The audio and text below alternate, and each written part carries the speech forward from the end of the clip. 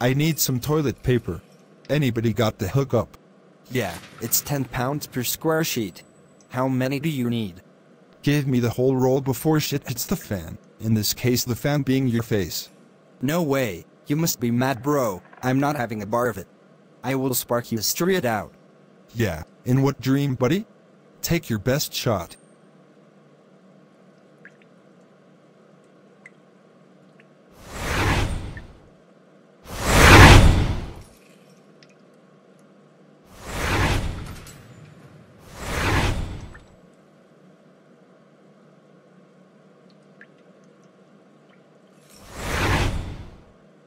Okay, stop it.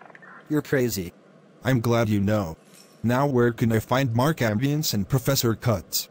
Check the old barber shop. It's a food bank now. Cuts was getting rid of some afros for the local black community. He's always been helping out. Trust me, everybody knows. Check his paperwork out. He's as clean as a whistle. Okay. Sit your $2 ass down, now. Piss off. Don't take me for a punk. Yo. If you don't listen, I'm going to slap you again. You're full of bare chat, my dude. Hold your mouth, trust. Cool. Move from me.